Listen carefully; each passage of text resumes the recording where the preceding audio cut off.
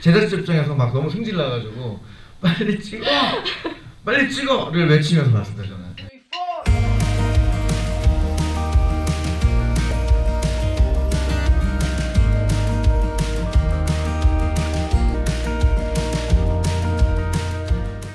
네, 안녕하세요. 저는 쇼버스 감독행 GV 진행을 맡은 신의 11 조연나 기자입니다.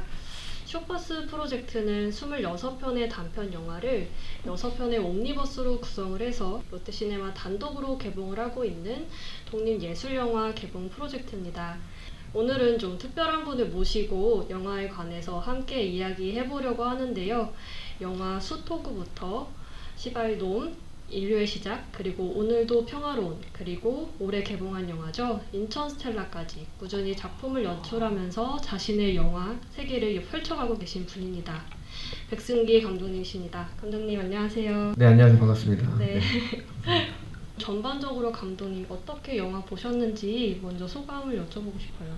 되게 감독님들의 어떤 그 삶의 이야기들이 되게 디테일하게 잘 보였다고 생각이 들고요. 감독들의 이야기가 나오는 영화들을 보면 단 한 편도 안 힘든 감독이 없는 것 같아요. 음. 예, 전부 다 너무 다 힘들 힘들게만 한 것 같아가지고 한편으로 또 안타깝게 생각하면서 봤습니다. 그 저의 감상도 조금 덧붙이자면 네. 저는 약간 감독님들의 일기장을 보는 것 같다 그런 음. 생각이 많이 음, 들었었던 네네네. 것 같아요. 뭐 다큐멘터리 형식으로 자기 삶을 좀 다- 말씀해주신 감독님도 계셨고 또 픽션의 형태긴 하지만 그 영화 속에 있는 감독들이 뭐 영화를 공부하는 학생이라던가 음. 아니면 또 감독으로서 이제 자신의 고민들을 되게 어, 굉장히 솔직하게 다들 네네. 전달을 하고 계신다는 말 생각이 들었어요. 감독이기 때문 아 저는 감독이 아니라서 완벽하게 이해를 못하는 지점도 있었을 거라는 생각이 들지만 네. 한편으로는 뭐 꿈과 현실 사이에서의 고민이라든지 반드시 영화를 전공하지 않은 분들도 아마 좀 공감을 하면서 볼 수 있는 지점들이 굉장히 많지 않았나라는 생각이 네. 들고 이 다섯 편의 단편이 또 다채롭게 그런 이야기를 보여주고 있었다 그런 생각이 듭니다. 음, 네네. 이제 그러면 첫 번째 영화부터 이야기를 나눠보면 좋을 것 같습니다. 최진영 감독님의 장래희몽이죠. 네네. 네네. 그 영화의 첫 대사가 굉장히 인상적인데 네. 혹시 어떤 대사였는지 기억이 나시나요? 아 내가 뭐 하는 사람인가? 네 맞습니다. 아, 예, 네, 네, 네. 네. 네, 나의 직업은 무엇인가? 아, 네네. 네 맞습니다.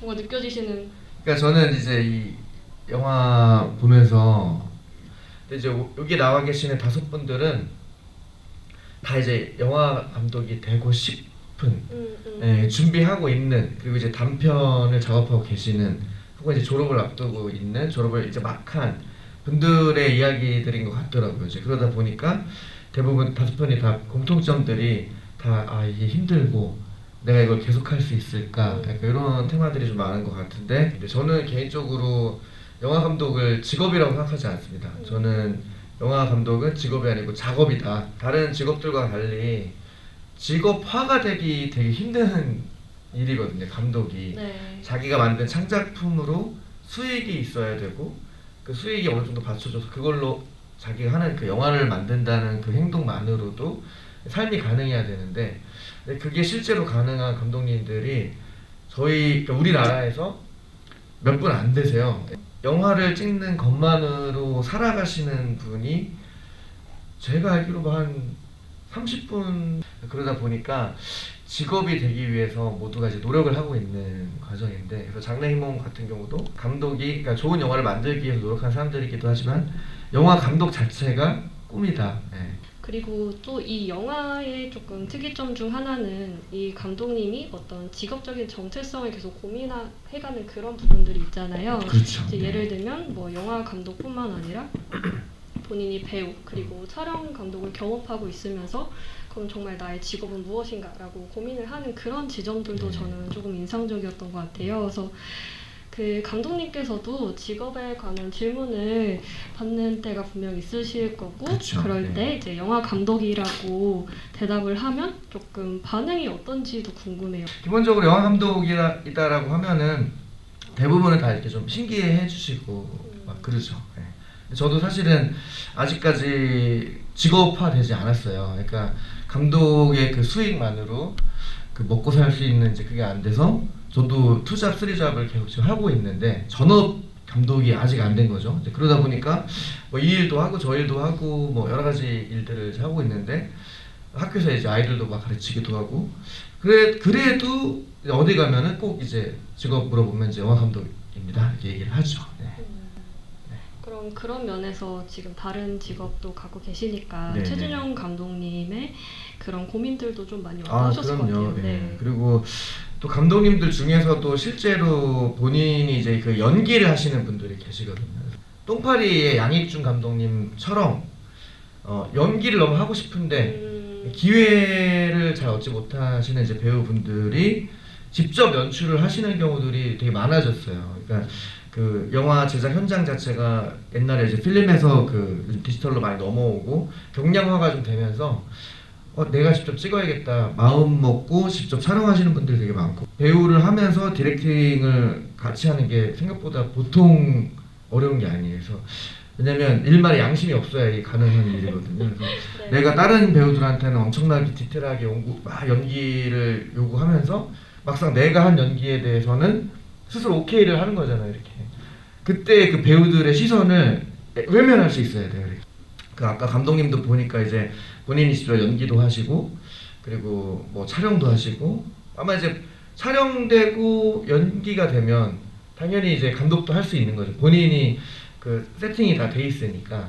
네, 저희가 오늘 봐야 할 작품이 좀 많아서요.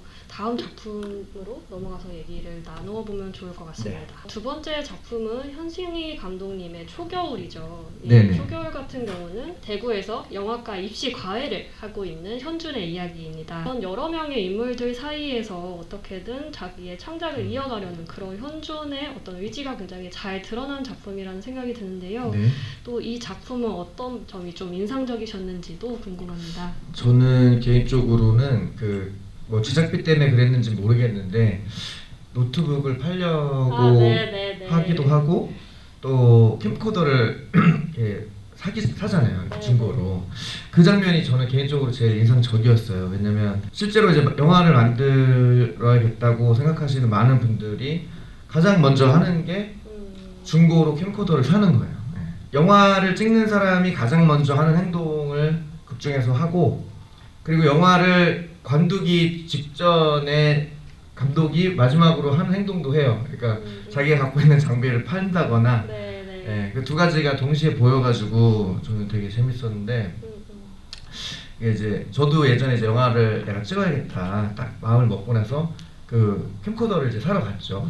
저는 이제 중고로 안 사고 첫 캠코더를 이제 그 가게에서 샀어요. 네. 사가지고 서울에서 사서 제가 이제 인천에 사는데 인천까지 전철에 내려오면서 캠코더를 계속 만져보는 거죠. 계속 보면서 막 이것저것 찍어보고 저것도 찍어보고 이미 그 머릿속에서는 이 캠코더 한 대만 있으면 내가 타이타닉도 찍어낼 수 있을 것 같은 어마어마하게 그 설레이는 기분으로 네. 내려오던 그날이 생각나가지고 음, 너무 좋았고요. 제가 어쩔 그 어쩔 수 없이 갖고 있던 캠코더를 이제 업그레이드하기 위해서 네. 예, 그때가 이제 2010년도 막 그랬는데요. 그러니까 요즘에 뭐 4K 뭐 이상도 많이 나오지만 그때가 이제 막 HD가 처음 나왔을 때였어요. 그래가지고 제가 갖고 있던 캠코더가 좀 화질이 안 좋은 예전에 이제 6mm 이런 거여가지고 HD로 촬영을 해야 왠지 영화제 같은 데서도 좀 뽑아줄 것 같다 이런 생각이 들어서 HD 캠코더를 사기 위해서 제가 갖고 있던 캠코더를 정말 정든 캠코더를 이렇게 중고로 이렇게 팔았는데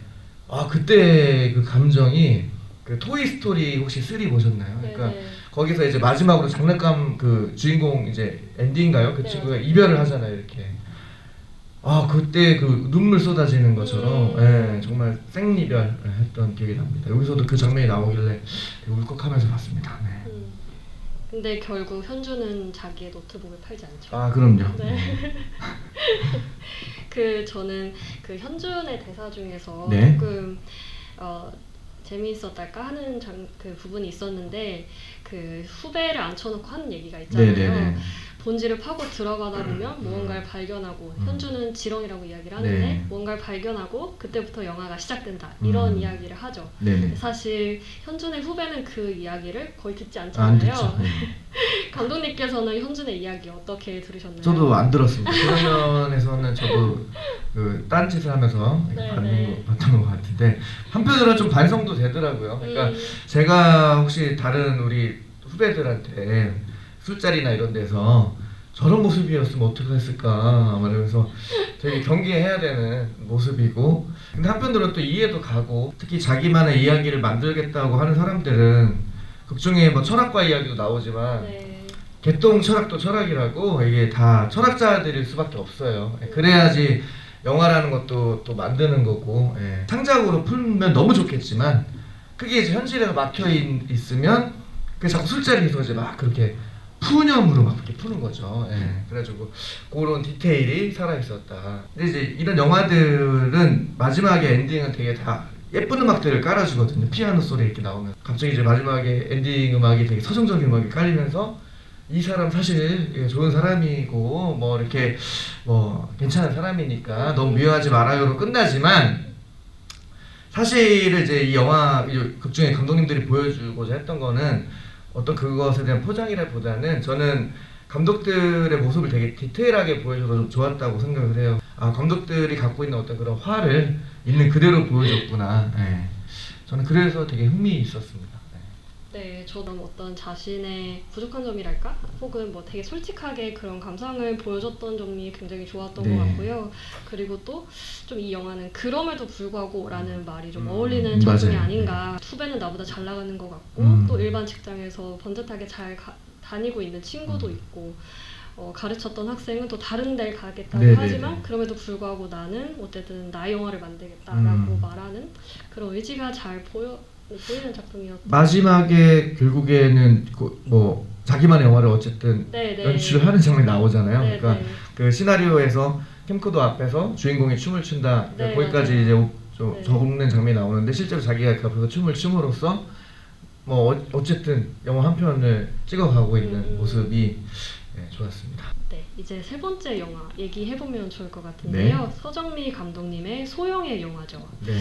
감독님은 이 소영의 영화 제목만 놓고 봤을 때는 이 영화가 조금 어떻게 흘러갈 것 같다 이런 예상 혹시 해보신 게 있나요? 앞에 영화들부터 이렇게 쭉 보는데 공교롭게도 또 그 앞에 2편에 나오는 그 과외 학생 이름이 소영이더라고요. 그래가지고 아 소영이 영화 그만둔다더니 계속 했구나. 약간 그 소영이의 좀 나중에 이야기인가 이게 약간 좀 그렇게 연결돼서 좀 개인적으로 상상하면서 보니까 재밌었는데 음, 어떤 제가 아는 감독님 중에서 네, 단편 영화 감독님이셨어요. 네. 그래갖고 뭐 저랑 같이 이렇게 상영 어떤 영화제에서 상영도 하고 막 그랬던 감독님이 계신데 성함이 이제 그분도 소영이었거든요.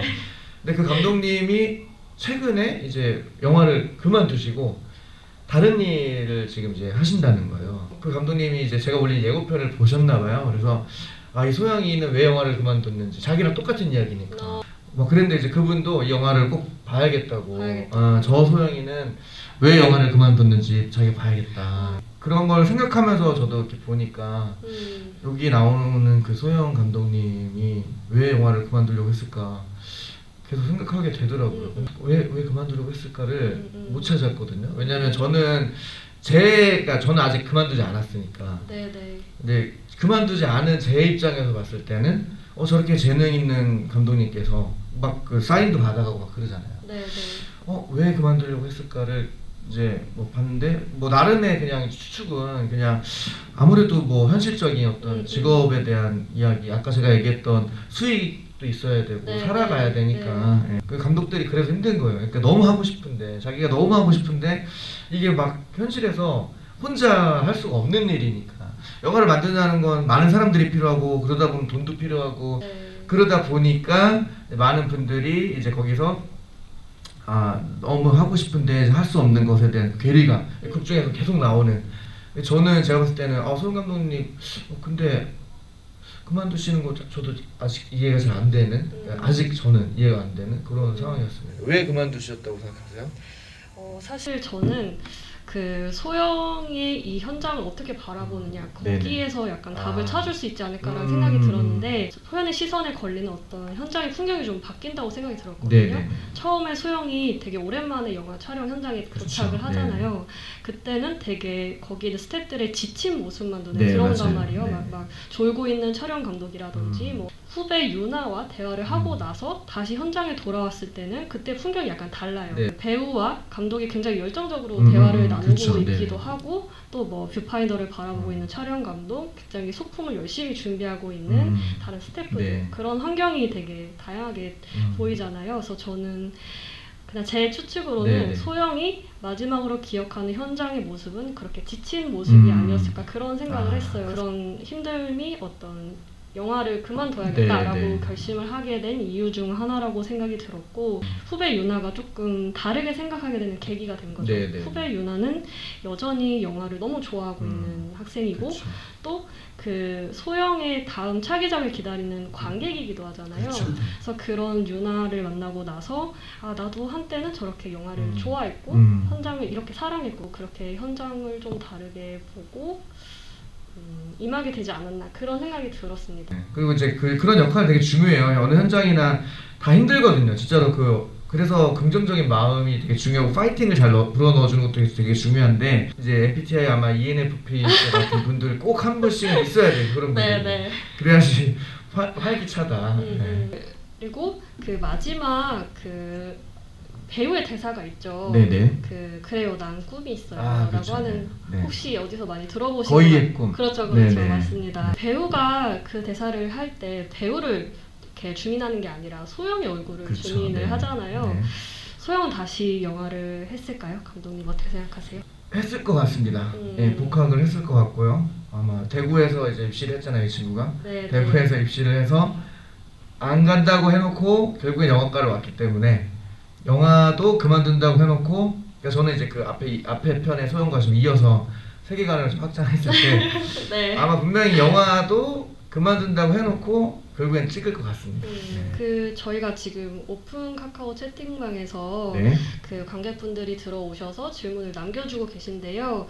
그 여기 질문을 많이 넘겨주셨는데 감독님 영화 일을 하시면서 가장 힘들다고 생각이 들거나 가장 막막하다고 느껴지는 때는 어떤 때이신가요? 하고 안나님이 질문 주셨습니다. 요즘입니다. 요즘. 요즘이요. 네, 네. 연말. 연말이 바뀌면은 새- 내년에는 내가 뭘 해야겠다는 새 계획을 짜잖아요. 근데 저 같은 경우에는 영화를 계속 만들어가기 위해서 이제 학교에서 아이들 가르치는 일을 하고 있어요. 근데 그거 같은 경우에는 1년 단위로 계약을 합니다. 네. 네, 1년 계약을 하고 뭐 기간제 교사라고 그러죠. 이제 가서 그 학교 가서 선생님 하고 있는데 그러면 이제 이건 계약을 하면 1년 동안은 그 학교에 선생님으로 일을 해야 되는 거예요. 네. 네. 그 그러면 이제 그 기간에는 영화를 또 못 찍잖아요. 음, 그러니까 매해 그 고민을 할 수밖에 없는 거예요. 아, 내가 좀 더 큰 영화, 뭐 상업 영화 같은 걸 찍으려면은 이걸 안 하고 음, 오픈되어 있는 시간을 확보하고 있어야 예, 그리고 이제 거기에 또 전력해서 글도 쓰고 투자도 받고 뭐 이렇게 해야지 이게 가능한 건데 사실 또 근데 이 일을 또 안 하자니 뭐 음. 당장 뭐 입에 뭘 넣어야지 사람이 살아가잖아. 영양소라는 게 있어야지 사람이 살아가니까. 네. 예. 그러다 보니까 여러 가지 그런 고민들. 아 근데 또 계약을 하면 당장 한 해는 되게 풍족하게 살 수 있는데 또 나의 꿈인 영화 만들기와는 또 1년 뭔가 멀어지는 느낌이 들고. 그 이제 그 매해 이제 그 요, 요맘때만 되면 이제 그런 고민을 하는 것 같아요. 음, 네. 음. 앞서 본 초겨울 관련해서 그 먹보 네오님이 질문을 주셨는데요. 그 초겨울에서 과외 학생이 꿈과 현실 사이에서 결국 현실을 선택하고 취업 잘 되는 과로 가야겠다라고 네. 말하는 장면이 나오는데요. 감독님은 꿈과 현실을 선택할 수 있는 상황으로 돌아가신다면 여전히 꿈을 쫓아 감독이 되실 건가요? 또 감독님이 현준이라면 이러한 과외 학생에게 어떤 조언을 해주실지 궁금합니다. 저는 당연히 꿈을 쫓아서 갈 것 같고요. 그러니까 이제 먹고 산다는 말이 있잖아요. 먹고 살기 위해 한다. 네. 그 말도 너무 중요하지만 저는 개인적으로 웃고 살려고 한다. 이 말도 되게 중요하다고 생각한단 말이죠. 이 웃지 못하고 먹기만 하는 삶은 맛은 있어도 어, 좀 더 행복하다 이렇게 생각이 들어가지고 학생들한테 상담할 때는 굉장히 또 현실적인 편입니다. 저는 상당히 팩트, 팩트 폭행을 되게 많이 하고 어, 하지 말라고는 안 하는데 이제 다 말해줘요. 네. 아, 야너 극과 가서 너 네가 어, 어떻게 되고 어떻게 되고 얘기해 줍니다. 왜냐면 얘기를 해줘야 음. 이 친구들이 현실에 맞닥뜨렸을 때 좀 내상을 덜 입는다고 저는 생각을 하고 아 우리 영화 감독하는 선생님이 밖에 나오면 뭐 다 잘 될 거래. 근데 이제 밖에 나오면 깜짝 놀라는 거예요. 막 어머 우리 선생님이 세상은 아름답다 그랬는데 밖에 나오니까 지상에 지옥이 따로 없어. 막 이제 이렇게 된단 말이죠. 그러다 보니까 저는 애초에 얘기해 주는 거죠. 아 제자들아 음, 어, 밖은 지금 지옥이란다. 네. 다섯 개의 단편 중에 네 번째 작품이죠. 김건희 감독님의 에로입니다. 그 소영의 영화에서 민준이 굉장히 디테일하게 조금 상황을 살피는 감독이었다면 에로에서의 감독인 영수는 오히려 좀 상대적으로 되게 성기달까요? 조금 건성건성 넘기는 음, 음. 면이 있는 네. 감독이죠. 크레딧에 자기 이름을 별로 올리고 싶어 하지도 않고요. 아, 에로 영화라서 그런지 조금 자기의 작품에 크게 애정이 없구나 이런 생각이 들기도 했는데요. 어, 감독님의 현장은 어떤지 조금 더 말, 여쭤보고 싶긴 하거든요. 저는 막연하게 감독님 영화 생각하면서 되게 유쾌하고 발랄한 어, 게더 많지 않- 상황이 더 많지 않을까 그런 생각도 음. 좀 했었거든요. 네네. 약간 딱 저 두 모습을 다 가지고 있는 것 같아요. 되게 유, 유연하게 하는데 제가 딱 원하는 어떤 씬들이 있어요. 그래서 몇몇 씬들. 아 요거는 내가 포기 못한다. 네, 네. 그런 씬들은 막 테이크 막 300번, 500번, 최대 1200번 막 네, 하고 막 네. 에로에서 보면 그 현장에서 되게 다양한 시선들이 부딪히잖아요. 네. 예를 들면 뭐 이제 아이는 네. 아빠의 일하는 그런 일터다 보니까 네. 모든 게 신기하고 다 멋있게 보이는데 또 배우는 그 에로씬 안에서도 어떻게든 감정을 음. 넣어서 조금 다르게 네네네. 촬영을 하고 싶어 하잖아요. 그리고 감독님은 그런 배우의 입장을 조금이라도 음. 받아들여서 그 의견을 좀 반영을 해서 촬영을 하고 싶어 하는데 제작자는 그거를 받아들여 주지 않죠. 그래서 굉장히 여러 시선이 여러 의견이 부딪히는 그런 네. 영화 현장이었는데요. 어, 감독님께서는 좀 누구의 시선으로 이 영화 현장을 이 에로 속 영화 현장을 바로 저는 보셨는지 제작자의 제작자의 시선으로 시선으로요? 아, 저는 네. 좀 당연히 영수지 않을까 생각했는데 아니 저는 감독의 행동 이해가 가지 않았어요. 아니 어. 이해가 가지 않으셨어요? 네, 왜냐면은 제작자 입장에서 막 너무 승질 나가지고 빨리 찍어, 빨리 찍어를 외치면서 봤습니다 저는. 네. 돈을 받았으면 일을 해야지. 네가 찍기로 한 영화를 찍어라. 어. 아 왜냐면 극중에 나오는 감독님도 나름의 그 에로 장르 말고 다른 영화를 하고 싶었던 네, 욕망이 맞아요. 있었던 것 같아요. 그러다 보니까 크레딧 얘기도 나오고 했던 것 같고 배우분도 실제로 이제 일반 이제 다른 장르들에 대한 연기 욕심이 있으신 분인 것 네, 같더라고요. 네. 그러면 그분들끼리 모여가지고 따로 독립 영화를 한 편 찍으면 돼요. 굳이 음. 굳이 돈 받은 에로 영화 현장에서 그걸 각색까지 현장 각색까지 해가면서 찍을 필요는 없다. 그 어. 그거는 계약 위반이다. 네, 저의 예상이 완전히 빗나가는 답변이었습니다. 어, 그러면 감독님께서는 이렇게 제작자나 혹은 배우와 의견이 갈리는 순간에 네. 조금 상황을 어떻게 조율을 하시는 편이세요? 네.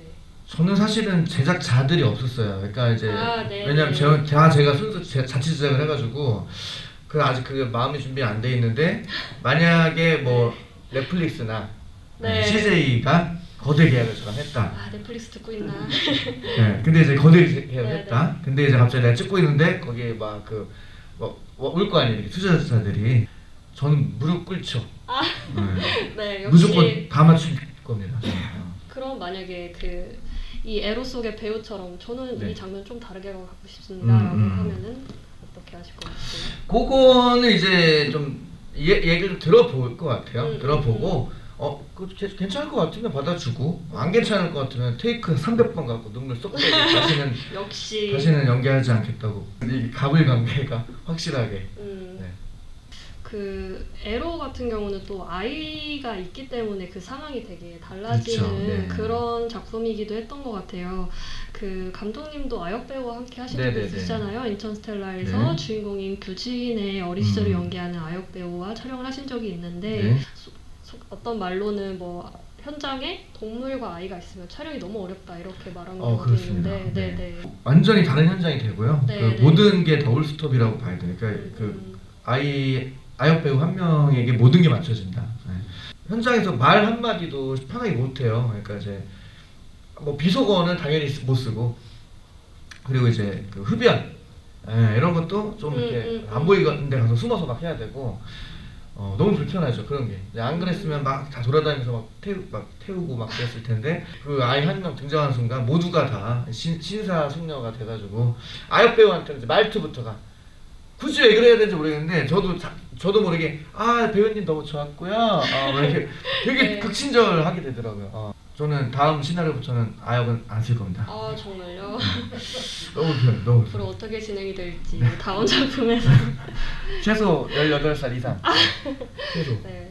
근데 한편으로는 또 에로에서는 그 아이의 존재 때문에 조금 다들 뭐 감독님 말씀하셨던 것처럼 조심하기도 하면서 어, 각자 태도가 조금씩 달라졌던 것 같기도 해요. 그러면서 네네네. 조금 분위기가 좋게 흘러가지 않았나? 그래서 제작자 입장에서는 화가. 역시 제작자 입장에 빨리 찍고 해지기 전까지 찍고 네, 가고 네. 이걸로 돈도 벌고 그래야 다음 네. 영화도 찍고 이렇게 하는데 갑자기 다들 좋은 작품을 하, 하겠다는 게 돼가지고 음, 어, 네, 이제 마지막 작품 이야기 나눠보면 좋을 것 같은데요. 이상빈 감독님의 메이킹 필름이죠. 네. 어, 이 영화 같은 경우는 제가 그 정보 영화 정보를 전달을 받았을 때 설명이 한 줄 있더라고요. 네. 이 영화 다 찍을 수 있을까? 이렇게 음, 설명이 있는데 네. 굉장히 어, 감독인 준의 상황을 좀 잘 드러내는 한 줄이 아니었나 이런 음, 생각이 네네. 들었습니다. 네. 준을 도와주려고 친할아버지가 오셨잖아요. 네. 근데 친할아버지에게 되게 좀 무례하게 음. 음, 화를 내기도 하고 준이 그런 모습을 보이죠. 그런 준의 태도는 좀 어떻게 보셨어요? 지극히 정상적인 태도라고 볼 수 네, 있습니다. 네, 네. 네, 왜냐면 이제 뭐 지금 영화 앞에서 음, 음. 감독들이 뭐 물불 안 가리고 네, 지금 제정신이 아닌기 때문에 음, 음, 그냥 저 감독한테는 영화 제작을 방해하는 건 모두가 다 싫고 음, 음, 영화 제작에 도움이 되는 모든 건 다 좋고 음. 이제 이런 상태라고 보면 되겠죠. 그 할아버지가 왔을 때 근데 이제 할아버지는 집에서 할아버지인 거예요. 음. 현장에서는 배우죠. 네, 예. 네. 그러면 감독 입장에서 배우가 원하는 연기를 해주지 않거나 그리고 심지어 소통이 막 불가능하고 좀 너무 터무니없고 막 이랬을 때는 저렇게 나오는 게 좀 맞다고 음. 봅니다. 음, 제 생각엔 준이 현장에서 어쨌든 본인이 이끌어가야 되는 입장이라 네. 그쵸, 할아버지한테도 네. 그렇게 대했었던 것 같기도 해요. 감독님 네. 말씀해 주셨던 것처럼 감독님은 어떨 때 가장 현장에서 부담이 되세요? 감독으로서. 이 많은 사람들을 어쨌든 하나의 목표를 향해서 달려갈 수 있게 동기부여를 해주는 네. 역할이란 말이죠. 그러다 보니까 감독은 어쨌든 이 많은 사람들을 세심하게 관찰하고 때로는 듣고 음, 음. 또 때로는 또 카리스마 있게도 나갈 때 나가야 되고 이게 정말 이 sensitive 해야 되거든요. 저 같은 경우에는 이제 딱, 딱 힘든 순간이 어 우리 현장에 있는 배우들이나 스태프들이 좀 이제 약간 일이 길어지면서 웃음기가 점점 사라지고 음, 음. 약간 피곤해하는 게 보인다. 네. 아 그러면 이제 저도 조금씩 이제 마음에 금 가기 시작해요. 네. 그래서 저는 우리 현장에 있는 배우와 스태프들이 힘들어하는 음, 표정을 음. 지으면 그게 저는 힘들다. 지금 오픈 카카오 채팅방에 되게 질문을 많이 남겨주셨어요. 아, 배우, 스태프, 주변 환경, 금전적인 문제 등등 어려움이 있음에도 영화를 계속 하는 이유는 무엇일까요? 이제 자주 받는 질문이긴 한데 제일 어려운 답변하기 진짜 제일 어려운 것 같아요. 왜냐면 이게 딱 과학적으로 뭐라고 딱 설명할 수 없는 이렇게 귀신같이 이렇게 공중을 떠다니는 이 무엇인가가 확 와서 네. 영화 베놈 뭐 베놈 같은 것처럼 네. 들어가 버렸어요. 이 안에서 지금 있어 이 영화를 통한 행복이라는 게 이거 이거를 안 할 수밖에 없는 그러니까 안 할 수 없는 이유를 정말 뭐 설명을 드릴 수가 없을 정도로 뭐 이렇게 몸 안에 예, 베놈 같은 게 하나 들어가지고 같이 살고 있다. 이런 느낌이다. 말씀드리고 싶고. 제 스스로 정해놓은 아 내가 이런 거를 하면서 살아야겠다. 음, 라고 스스로 정해놓고 그것을 스스로 읽어 나가는 어떤 그런 거기서 오는 쾌감. 음, 네. 그러니까 마약 같은 거예요, 마약. 이제 뭐저 마약을 해보진 않았지만 드라마. 같은 거 보면 어 네. 위험하다고 하잖아요, 네, 중독되고. 근데 그 뭐 취해 있는 사람들 막 표, 표정 보면 막 너무 좋아 보이잖아, 막 음. 이렇게 행복한 게 없잖아요. 네. 그런 거예요. 네. 어 그리고 그 마지막 저희가 이야기 나눈 메이킹 필름 관해서도 질문을 주셨는데요. 친할아버지를 캐스팅하는 바람에 영화 현장에서 이런저런 참견을 하는 씬이 나오는데 감독님 영화에서도 친부모님이 나오셨던 걸로 압니다. 네 맞습니다. 그래서 비슷한 에피소드가 있으셨는지 궁금합니다. 이제 그 저희 친 어머니 아버지가 제 영화에 출연하신 적이 있는데 네. 사실 밥 먹는 씬이었어요. 제가 주인공 직접 할 때였고 그래서 그냥 아 정말 짧게 등장시켜야겠다. 그리고 실제 엄마 역할, 아빠 역할로 해야지 나한테 평상시에 하듯이 이렇게 하면은 그 연기처럼 좀 보이지 않을까 해가지고 네. 그렇게 진행을 하려고 했던 건데 막상 시켜보니까 너무 못하는 거예요, 진짜. 그래가지고 이제 고민했던 게 대사를 다, 다 빼버렸어요, 제가. 어, 안 되면 저는 깨끗이 포기하고 음, 예, 그 상황에 맞게 대처하는 편이에요. 그래서 대사 안 되는 친구가 있다 그러면 바로 실어증 걸렸다 너는 너는 이제 실어증 걸린 사람이다. 그래서 어, 그렇게 가요 그냥 실제로. 예. 그리고 그 쇼버스 응원단님께서 어, 길게 말씀을 주셨습니다. 이번 작품은 정말 영화 지망생들과 현재 감독님들의 모습들과 애환을 볼 수 있는 작품이었다고 생각이 들었습니다. 사실 독립 영화가 처한 상황이 사- 어, 다른 상업 영화들보다 많이 부족한 상황이잖아요. 독립 영화만의 매력이 다분함에도 지원과 후원이 부족해서 극장에 걸리지 못하는 작품들도 많은 것으로 알고 있는데 빛을 보지 못하는 작품들에 대해선 동일한 백승기 감독님 입장에서 어떤 마음이시고 또 어떻게 헤쳐나가시는지 질문 주셨습니다. 네, 좋은 질문 감사드리고요. 음. 그 저도 이 작품들 다섯 작품들을 쭉 보면서 그런 생각을 혼자 해봤어요. 네, 네. 이제 단 한 가지 극 중에 나오는 이제 그 선배처럼 꼰대 같은 말을 좀 해보자면 예. 음, 음.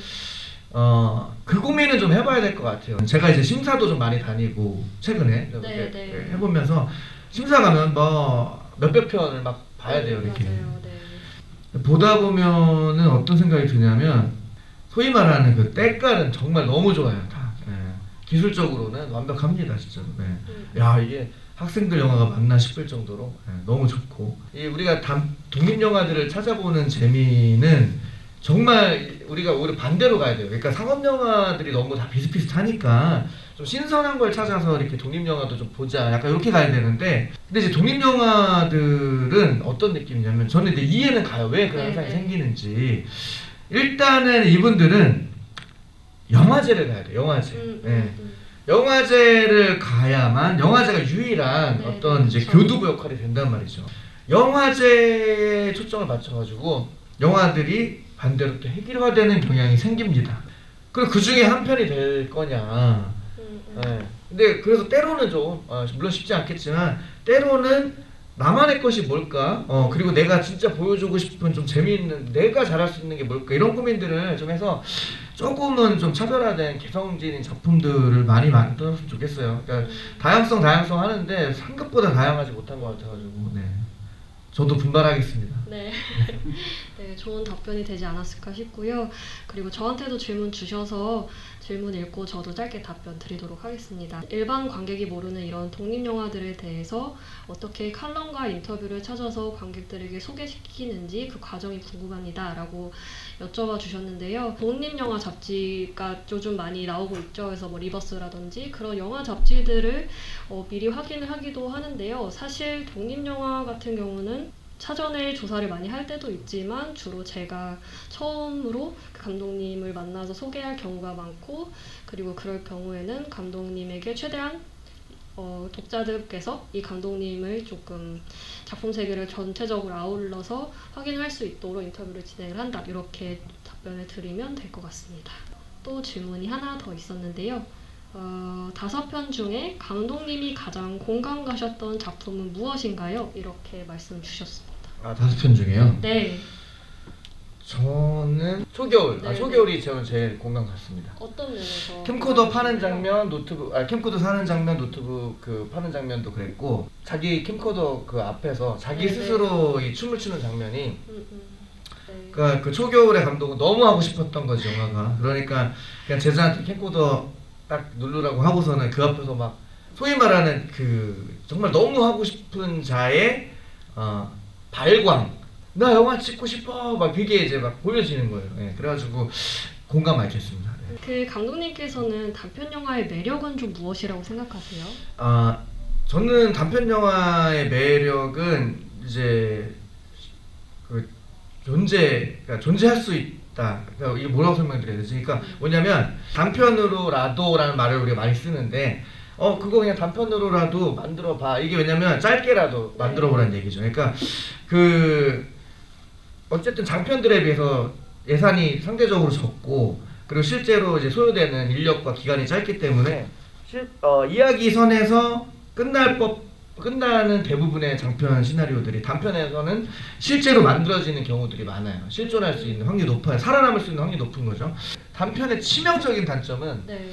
보여지기가 어렵다. 영화의 특성인 것 같아요. 그게 영화의 특성상 지금까지는 영화제나 가야 좀 이렇게 묶어서 상영하고 개봉의 개념이 없다 보니 보여지는 게 어려웠었는데 이번에 그 쇼버스 요 기획을 너무 잘 해주셔가지고 네, 네. 많은 단편들을 선물 세트처럼 이렇게 볼 수 있는 기회를 마련해 주셔서 저는 너무 좋았습니다. 그래서 이런 기획 자체도 되게 예. 그 확실히 영화제를 가야 단편들을 많이 볼. 수 있잖아요. 근데 그때가 아니면 이 단편 그때 화제가 되었던 단편이라고 해도 후반에 그 영화제 시즌, 시즌을 지나면 다시 그 단편을 만나보기가 되게 어렵고 음, 네. 그런 와중에 이렇게 단편을 옴니버스로 엮어서 작품들을 만나볼 수 음. 있다는 건 확실히 굉장히 좋은 기회였던 것 네. 같습니다. 네, 이제 아쉽지만 좀 마무리를 해야 될 시간이 와서요. 어, 계속 말씀 주셨지만 저희가 단편을 접할 기회가 상대적으로 많지 않은데 오늘 이렇게 재밌고 네.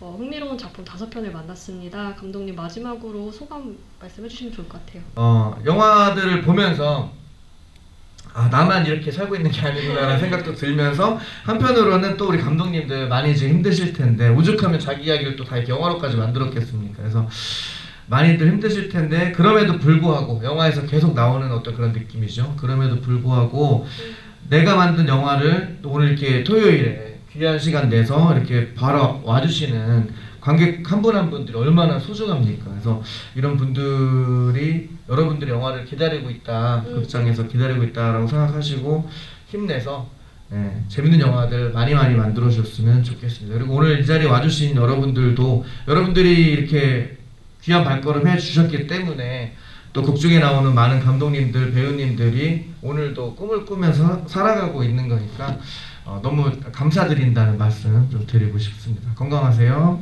네. 어, 네, 감독님 좋은 말씀 감사합니다. 사실 저희가 영화라고 하면 프레임 안에 담겨 있는 그런 상황을 보게 되는 거잖아요. 근데 쇼퍼스 감독행 같은 경우는 프레임 밖의 이야기를 조금 볼 수 있는 상황이었, 어, 이야, 상황이었던 것 같아요. 예를 들면 카메라 뒤에 있는 감독들의 이야기도 볼 수 있었고요. 그리고 그 감독과 함께 영화를 만들어가는 스태프들의 이야기도 볼 수 있었죠. 그래서 오늘 쇼퍼스 감독행 보신 관객분들께서도 어, 영화 한 편을 만들기 위해서 감독들이 어떤 고민을 하는지 또 현장에서 얼마나 고군분투를 하는지 그리고 한 편을 위해서 얼마나 많은 사람들이 공을 들이는지 한 번쯤 확인하시고 또 생각해 보시는 기회가 되시지 않았을까 생각이 듭니다. 오늘 좋은 말씀 해주신 백승기 감독님 감사하고요. 또 늦은 시간까지 자리 지켜주신 감독, 어, 관객분들께도 감사드립니다. 네, 감사합니다. 감사합니다.